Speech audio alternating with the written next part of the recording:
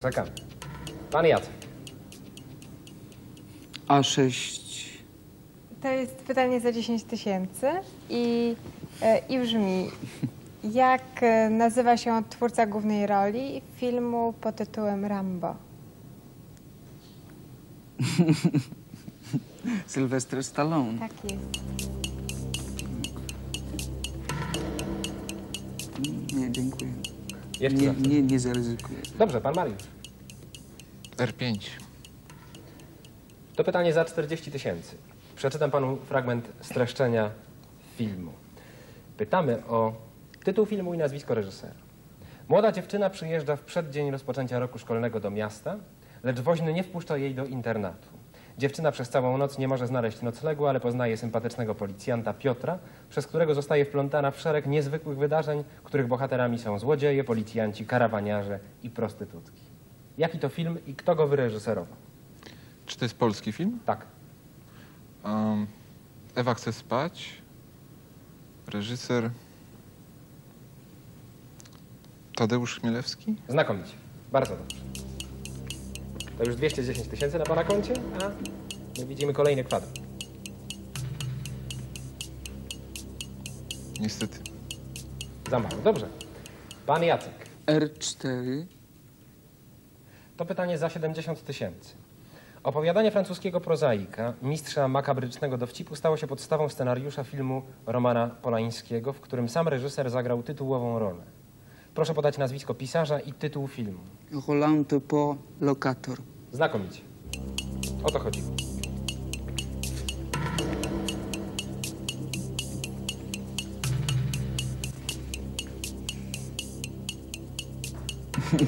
Dziękuję bardzo. Pan Mariusz. D3. Również za 70 tysięcy. Krańcowym przejawem tak zwanego kina nowojorskiego przełomu lat 60. i 70. jest działalność głośnego malarza pop artu i jego Factory, w której wraz z Paulem Morrisseyem zrealizował m.in. filmy Ciało, Śmieć, Upał. Apatujące brutalną pornografią i skrajnym pesymizmem. Jak brzmi nazwisko tego głośnego twórcy? Oczywiście Andy Warhol. Znakomicie.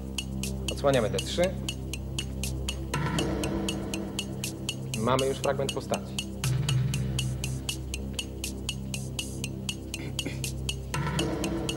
Dalszym ciągu. pan Jacek. K3. Pytanie za 40 tysięcy. Dom wariatów Marka Koterskiego to fabularny zapis życia pewnej polskiej rodziny. Proszę wymienić nazwiska pary aktorów odtwarzających postaci starych małżonków. Stare małżeństwo. Na kontrze do tego, co pan powiedział, powiem Zamachowski i Biedrzyńska. No nie, no Właśnie, na niestety. kontrze. Nie. Bogdana Majda i Tadeusz Łomnicki. Pan Mariusz. D1. Za 10 tysięcy. Proszę podać tytuły filmów Sylwestra Chęcińskiego składających się na trylogię o Kargulu i Pawlaku. Sami swoi. Nie ma mocnych. Kochaj albo rzuć. Znakomicie.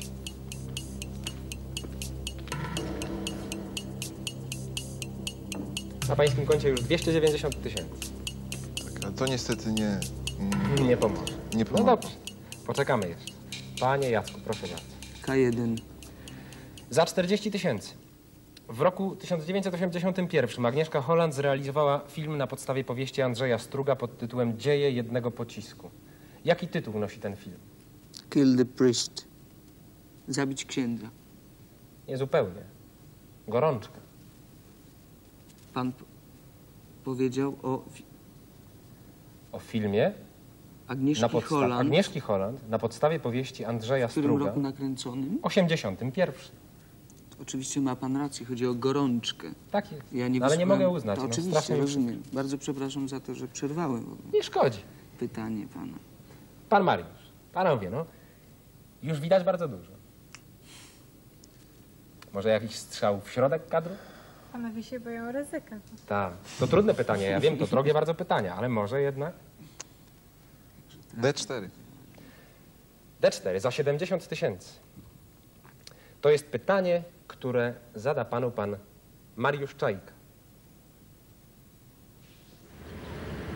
W którym roku urodził się Kaczor Donald? Powtarzam, w którym roku urodził się Kaczor Donald? Ja tylko dodam do tego pytania, że może się pan pomylić o dwa lata. Nie wiem, czy to będzie dla mnie jakiekolwiek ułatwienie, ponieważ e, nie jestem pewien. Żeby być szczerym, chyba nie wiem, ale zaryzykuję. 1942. W 1934 roku. Pomylił się pan o ile? Więcej niż dwa lata. O więcej niż dwa lata. Pan Jacek. D6. D6. Strzelaliśmy już w D6. Tak? Mhm. E, czyżby A3 to, to może A3? A3 to jest pytanie za 100 tysięcy. Spodziewam się. tak. Zadaje panu pan Roman Gutek. Andrzej Tarkowski, wybitny reżyser rosyjski, zrealizował dwa ostatnie filmy na emigracji. Proszę wymienić ich tytuły. Nie wiem. Posłuchajmy, jak brzmi prawidłowa odpowiedź. Y, Nostalgia, film zrealizowany we Włoszech oraz Ofiarowanie bądź inny tytuł Ofiara, film zrealizowany w Szwecji. To bardzo trudne pytanie, prawda? Czegoś się nauczyłem. Nie wiedziałem tego zupełnie. Bardzo jest mi przykro. Ale pan Mariusz, przed panem teraz szansa. A4. A4 to jest również pytanie za 100 tysięcy, a zadaje panu pani Anna Majcher.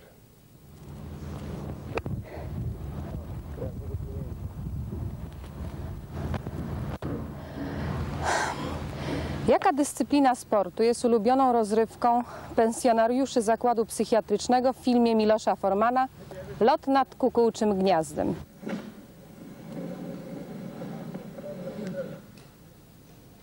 A, koszykówka. Bardzo dobra odpowiedź. Znakomicie. Odsłonimy A4. Bardzo dużo mówi. A ja za tę odpowiedź jeszcze panu przyznam taką własną, prywatną nagrodę. Proszę nie pokazywać. Od czasu do czasu. Dziękuję bardzo.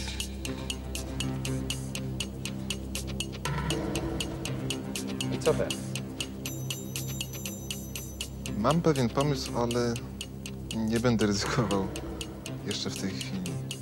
Nie jestem pewien. Dobrze? Poczekamy jeszcze chwilę. Pan Jacek. K1. K1 strzelaliśmy. E, tak. E, co mi zostało? Na przykład... Na przykład pierś Roberta De Niro, czyli D4. Czy strzelaliśmy? Zaraz to sprawdzę. D4 nie. No Poproszę. Za 70 tysięcy. Co przedstawia największa scenografia wybudowana dla potrzeb filmu? Dla ułatwienia powiem, że te imponujące dekoracje piętrzyły się nad Hollywood przez 12 lat, ponieważ zbyt kosztowna okazała się ich rozbiórka. Tolerancja. No. A co przedstawiają? Babilon, Świątynię babilońską. tak? Tak, brawo, oczywiście. Ile to teraz nastukałem? Tam? 70 tysięcy. 70 tysięcy. Pierś Nice. Roberta De Niro. Nie, nie. A wiemy z jakiego I, filmu czy, jest? I czy, czy będziemy zgadywać? No właśnie. To jest młody Robercik. Panie Jacku, E, 280 tak, tak, tak, pana przepraszam za te dywagacje. Już skupiam się i mówię albo nie mówię. Nie mówię. No dobrze, pan Mariusz. K3. Za 40 tysięcy. Jaką nazwę nosi główna nagroda przyznawana na Międzynarodowym Festiwalu Filmów Krótkometrażowych w Krakowie?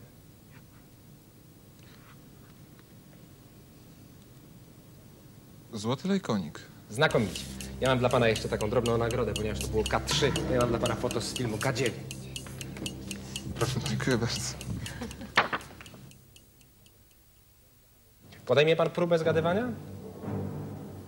Zaryzykuję. Wydaje mi się, że jest to kadr z filmu Taksówkarz z Robertem De Niro. Znakomicie. To jest taksówkarz Martina Scorsese z Robertem De Niro. To bardzo dobra odpowiedź. Odsłonimy resztę naszego kadru. Na tym zakończymy naszą zabawę. Pan Jacek wygrał 280 tysięcy i nagrody pocieszenia, o których zaraz kilka słów, a pan Mariusz karnety i 450 tysięcy. Proszę bardzo. To nagroda główna, proszę wręczyć.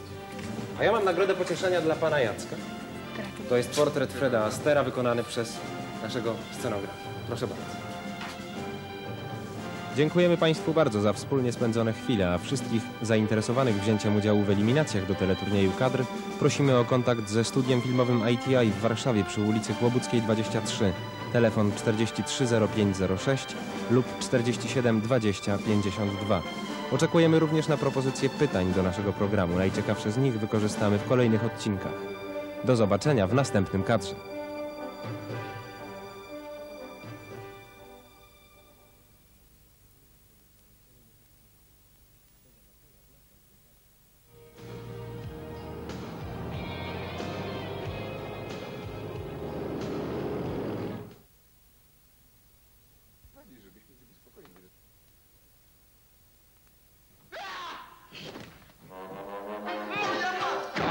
Ni stąd, ni zowąd, mój ojciec podobny do świni.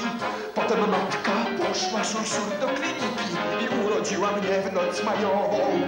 A księżyc był jak cholera, ojciec po ośmiu likierach. I nagle żelazko spadło mi na głowę i tak się zaczęło, madam. Refren. O, to jest spowiedź kretyna. Życie kretyna to łza, któraż pokocha dziewczyna takiego kretyna jak ja, któraż pokocha rudego kretyna infernalnego. W ręku mam róże i uszy za duże, a w sercu moniuszko mi gra. Druga strofa. Mijają, mijają epoki, lecz złota jest ciągle pierońska, więc zmęczą mnie polonokoki i niemoc jak kielońska. A może przyfrunie serafin, serafin ten fruwać potrafi. Na dnie serca mego ja wierzę, ach w niebo, bom jest kretyn, padam. Refren. O, to jest spowiedź kretyna. Kretyna z kabareciku Olgi Lipińskiej w studiu Kretyn we własnej osobie, czyli Piotr Frączewski. Bardzo mi miło. Witam pana oraz pan Dariusz Domański, autor książki o panu Piotrze Frączewskim, która niebawem będzie w sklepach. Na początku października ma się ukazać, tak? Tak, ym, podobno na początku października. Skąd fascynacja właśnie Piotrem Frączewskim? Bo jest w końcu sporo y, zjawisk teatralnych wielkich, y, nie umniejszając wielkości oczywiście panu Piotrowi. Y, Jest wielu wybitnych artystów, dotąd nie zmonografikowanych, że tak Bo powiem. nie, bo to prawda. I rzeczywiście y, wielu aktorów y, jeszcze z XIX wieku czeka na opis, nie mówiąc już o całym y, dwudziestoleciu. Właśnie. czy okresie powojennym, e, ponieważ pan Piotr jest aktorem od 20 lat, zawodowym, ale w ogóle to ma jeszcze nieco dłuższą biografię, bo e, zaczynał w okresie szkoły polskiej w kinie. E, Dlaczego e, pan Piotr Łączewski? Ja o tym wyjaśniam we wstępie. Uważam, książki, tak. uważam tak, że e, jest to, no, nie powiem nic nowego. Trudno jest mówiąc o aktorach ustrzec się przed pewnym banałem y, sformułowań.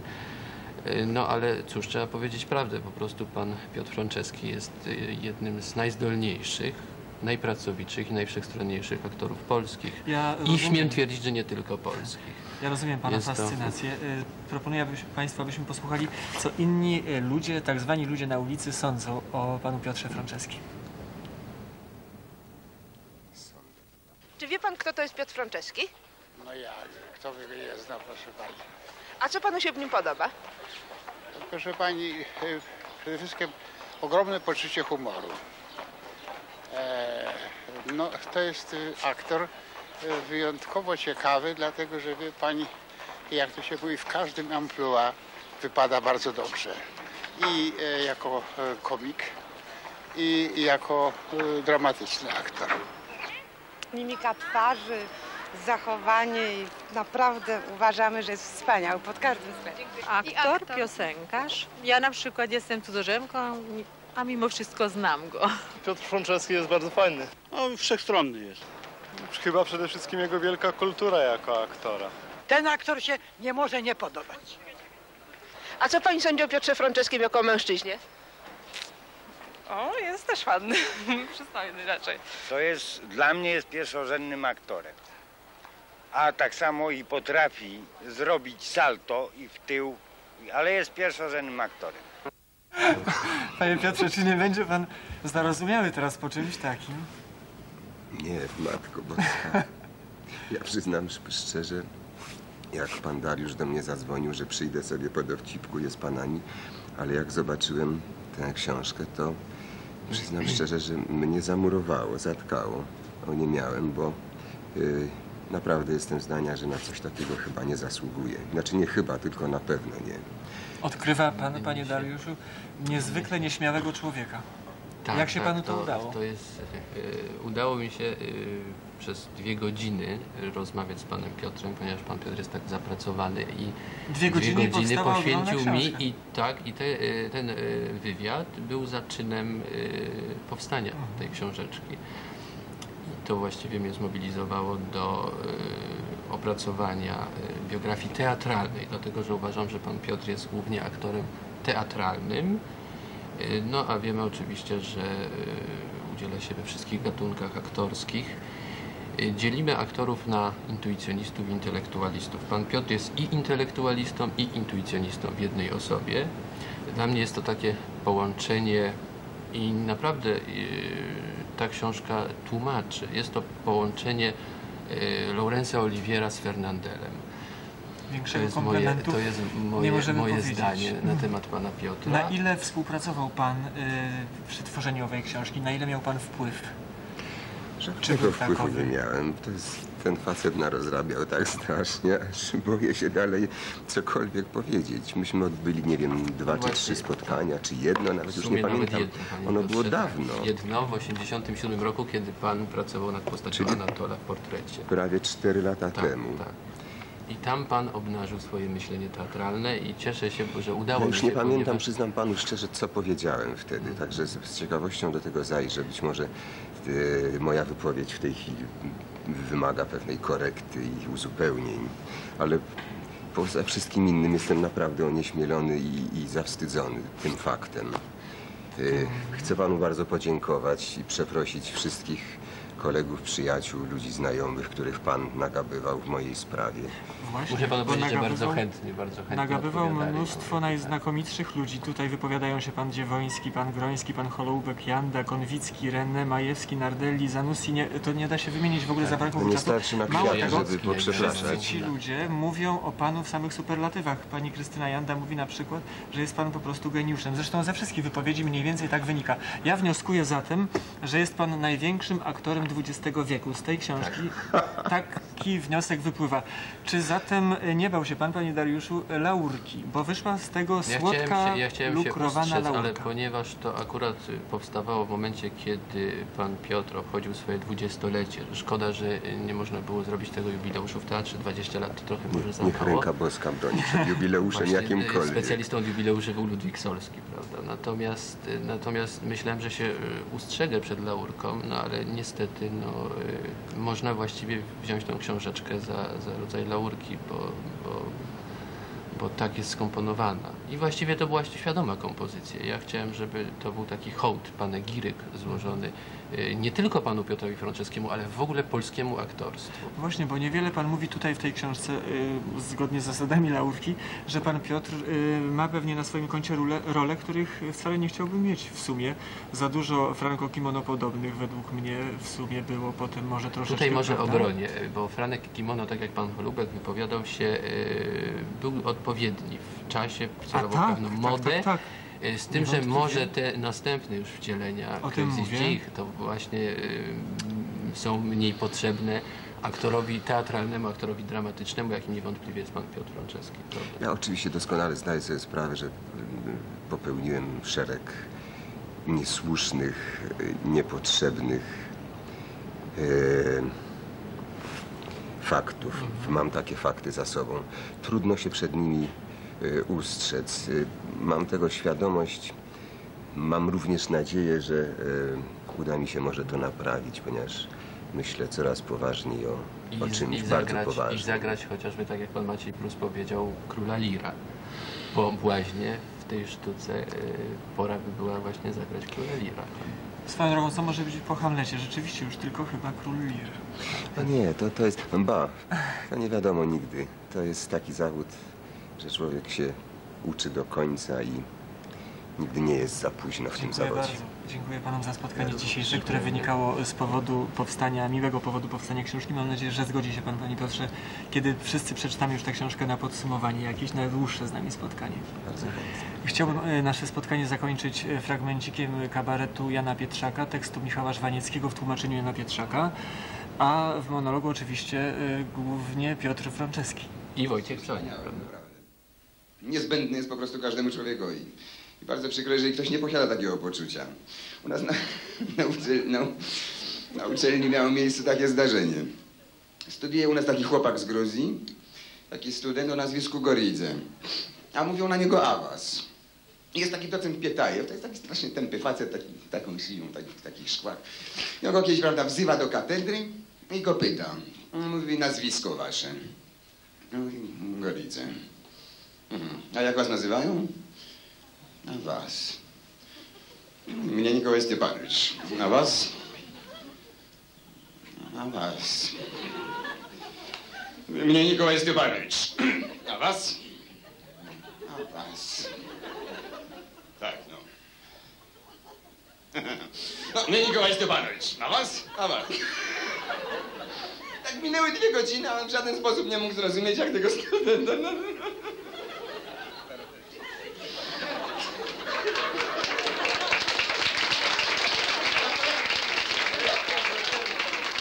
Z czego się śmiejecie? Nie, Takie, takie zdarzenie mi opowiadam. Tak, studiuje u nas taki Gruzin, pamiętasz? Goridze się nazywa. A na imię ma awans. Jest, jest docent Pietajew, pamiętasz? Taki karakan ryży z takich szkłach wrażliwy, pamiętasz? Go kiedyś wzywa do katedry i go pyta.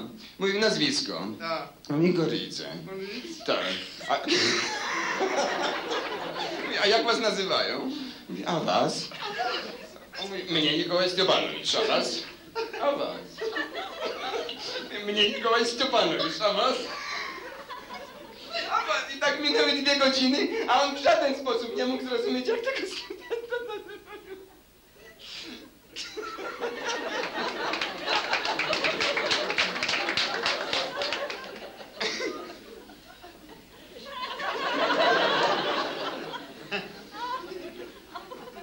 Taki student studiuje u nas, rozumiesz? Nazywa się Goryk. A na imię ma awans, rozumiesz? I Jest docent Pietajew. I on go bierze do katedry któregoś dnia, rozumiesz? I go pyta. Mówi, nazwisko. Gorice. A jak was nazywają? Awans. Mnie Nikołaj Stepanowicz, a was? Awans. M- Mnie Nikołaj Stepanowicz, a was? Awans, no.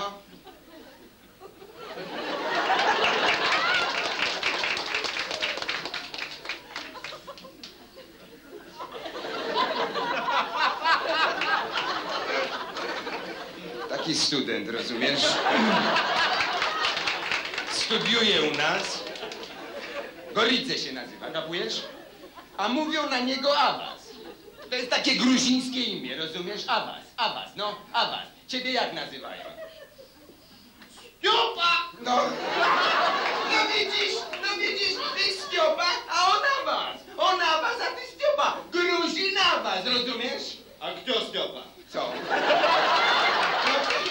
No ty Stiopa, ty Stiopa, ty rozum, ty Stiopa, a docent tępy, rozumiesz? I on kiedyś bierze tego studenta do katedry i go pyta, nazwisko i Goryce, a jak was nazywają?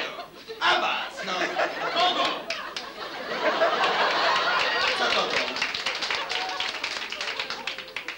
Co kogo? Ko, kogo on cały czas pyta okresowo, cyklicznie? Kto pyta? Kto pyta okresowo? Yy, Gruzin pyta? Jaki Gruzin? Nie. Studiuje u nas Gruzin, rozumiesz? Jest docent Pietajew, kurdupel taki, z taką szyją, w takich brylach. I on go bierze do katedry i go pyta. Nazwisko, Gruzin. myślał, że on go pyta, docent, rozumiesz? A Gruzin, że on mu odpowiada. Rozumiesz? Czyli pyta go, rozumiesz? Ale o co? O docenta! Nie, o Gruzina! Jak się nazywacie? Gogorydzę. A na imię jak macie? A wy? On mówi, ja docent.